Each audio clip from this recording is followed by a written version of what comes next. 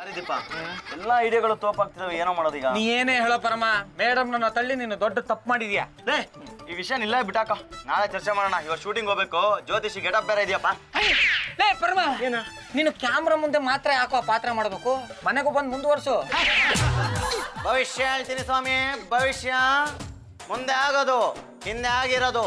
ಸರ್ಕಾರ ಹೇಳುತ್ತಾ ಬೀಳುತ್ತಾ ಹೊಡೆದಾಡ್ತಾರ ಇಲ್ಲ ಸೀಟ್ ಉಳಿಸ್ಕೊಳ್ಳೋಕೋಸ್ಕರ ಆಣೆ ಪ್ರಮಾಣ ಮಾಡ್ತಾರ. ಗಂಡನ್ನ ಹೋಲ್ಸ್ಕೊಳ್ಳೋದು ಹೇಗೆ? ಹೆಂಡತಿನ ಬೈಯೋದು ಹೇಗೆ? ಗಂಡನ್ನ ಬೈಯೋದು ಹೇಗೆ? ಭವಿಷ್ಯ ಹೇಳ್ತೀನಿ ಸ್ವಾಮಿ ಭವಿಷ್ಯ. ಬಾರು ಭವಿಷ್ಯ ಹೇಳೋರು ಬಂದಿದ್ದಾರೆ ಬಾರೆ ಭವಿಷ್ಯ ಕೇಳೋಣ. ಭವಿಷ್ಯ ಹೇಳಕ್ ಬರುತ್ತಾ? ಬರುತ್ತೆ ತಾಯಿ. ಆಮೇಲೆ ನೂರು ಸಾವಿರ ಅಂತ ಕೇಳ್ಬಾರ್ದು. ಇದು ನನ್ನ ಮಜ್ಜ ಹೇಳ್ಕೊಟ್ಟಿರೋದು. ಭವಿಷ್ಯ ಹೇಳಾದ್ಮೇಲೆ ಅವರು ಒಂದ್ ರೂಪಾಯಿ ಕೊಟ್ರು ಸಾಕು ಒಂದ್ ಇಡೀ ಅಕ್ಕಿ ಕೊಟ್ರು ಸಾಕು ಅದ್ರಲ್ಲೇ ತೃಪ್ತಿ ಪಡು ಅಂತ ಹೇಳಿದ್ದಾರೆ ನಿಮ್ಮ ಅಜ್ಜ ಒಳ್ಳೆ ಮನುಷ್ಯ. ಆಹಾ. ಆ, ಸ್ವಾಮಿಗಳೇ ಕೂತ್ಕೊಳ್ಳಿ ನನ್ ಭವಿಷ್ಯ ಹೇಳಿ. ಆಯ್ತಾಯ್ತು. ಕೂತ್ಕೊಳ್ಳಿ ಅಲ್ಲ ನೋಡಮ್ಮ ನಿನ್ನ ಹೆಸರು ವೈಶಾಲಿ ಅಂತ. ತುಂಬ ಒಳ್ಳೆಯ ಮನೆತನದ ಹೆಣ್ಣು ಮಗಳು ನೀನು.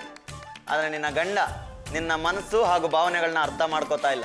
ನೀನು ಬೇರೆಯವ್ರಿಗೆ ಸಹಾಯ ಮಾಡ್ತೀಯ? ಅದರಲ್ಲೂ ಪೆಟ್ಟಿಂಗ್ ಇಡೋದ್ರಲ್ಲಿ ಎತ್ತಿದ ಕೈ.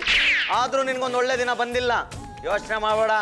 ಮುಂದಿನ ವರ್ಷ ಡಿಸೆಂಬರ್ ಇಪ್ಪತ್ತೊಂದನೇ ತಾರೀಕು ಕೋರ್ಮಂಗ್ಲದ ಹತ್ರ ಸಿಕ್ಸ್ಟಿ ಫಾರ್ಟಿ ಸೈಟ್ ತಗೋತೀಯ.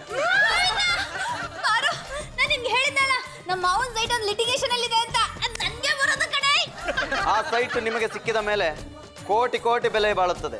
ಆಮೇಲೆ ನಿಮ್ಮ ಅದೃಷ್ಟದ ಬಾಗಿಲು ತೆರೆಯುತ್ತದೆ. ಯೋಚನೆ ಮಾಡಬೇಡಿ. ನಿಮ್ಮ ಗಂಡ ತುಂಬ ಒಳ್ಳೆಯವನು. ಅವನ ಮೇಲೆ ಭಕ್ತಿ ಇಡಿ. ಪತಿಶಕ್ತಿಯಿಂದ ನಿಮಗೆ ತುಂಬ ಒಳ್ಳೆಯದಾಗುತ್ತೆ. ಶಾಸ್ತ್ರಿಗಳೇ ನನ್ನ ಭವಿಷ್ಯನು ಹೇಳಿ. ನೋಡಿ ನಿಮ್ಮದು ಶಿವನ ಹೆಂಡತಿಯ ಹೆಸರು. ಜಗತ್ತನ್ನೇ ಪಾಲಿಸುವ ತಾಯಿ ಶಕ್ತಿ ದೇವತೆ ಸಿಂಹವನ್ನೇ ವಾಹನವಾಗಿ ಪಡೆದವರು. ನಿಮ್ಮ ಹೆಸರು ಪಾರ್ವತಿ. ಆದರೆ ನಿಮ್ಮ ಗಂಡ ನಾಲಾಯಕ್. ನಿಮ್ಮ ವಿಚಾರದಲ್ಲಿ ಕಾಳಜಿ ಇಲ್ಲ ಪ್ರೀತಿ ಇಲ್ಲ. ಬೀಳ್ಸೋದು ತಳ್ಳೋದು ಹೊಡೆಯೋದು. ಹೌದು ಮೊನ್ನೆ ತಾನೇ ಬೀಳಿಸ್ಬಿಟ್ರು. ನೋಡಿ ನೀವು ತಪ್ಪು ತಿಳ್ಕೊಂಡಿದ್ದೀರಾ. ನಿಮ್ಮ ಗಂಡ ನಿಮ್ಮನ್ನ ಪ್ರೀತಿಯಿಂದ ಬೀಳ್ಸಿರ್ತಾನೆ. ನಾನು ಈಗಲೇ ನಿಮಗೊಂದು ಪಾರ್ವತಿ ಪರಮೇಶ್ವರ ಫೋಟೋ ಕೊಡ್ತೇನೆ. ಅದನ್ನ ಇಟ್ಕೊಂಡು ಅದ್ರ ಸುತ್ತ ಓಂ ನಮ ಶಿವಾಯ, ಓಂ ನಮ ಶಿವಾಯ, ಓಂ ನಮ ಶಿವಾಯ ಎಂದು ಮೂರು ಸತಿ ವೇಗವಾಗಿ ಪ್ರದಕ್ಷಿಣೆ ಹಾಕಿದ್ರೆ ನಿಮಗೆ ಒಳ್ಳೇದಾಗುತ್ತೆ. ನಿಮ್ಮ ಗಂಡ ಎರಡು ರೇಷ್ಮೆ ಸೀರೆ ಕೊಡಿಸ್ತಾನೆ.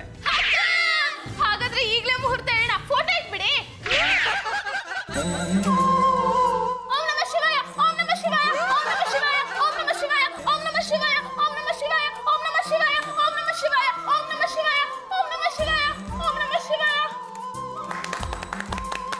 ಮೇಡಮ್ನವ್ರೆ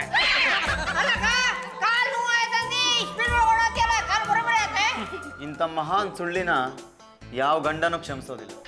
ಬನ್ನಿ ಕುನ್ನಳವ್ರೆ ಈ ಕಡೆ. ರೀ ನನ್ನನ್ನ ಸುಳ್ಳು ಅನ್ನೋದಕ್ಕೆ ನೀವ್ಯಾರ್ರಿ? ಇಲ್ಲ ರೀ ನಿಮ್ಮ ಪತಿ ಪರಮೇಶ್ವರ.